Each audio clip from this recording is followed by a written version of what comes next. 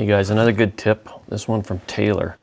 Um, if you're sending links to YouTube, what happens is uh, the link will take them to YouTube and there'll be a whole bunch of videos on the right side.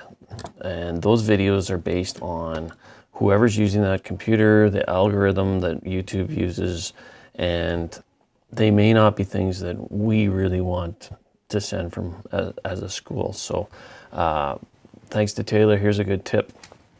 Basically, all you have to do is after watch in the URL,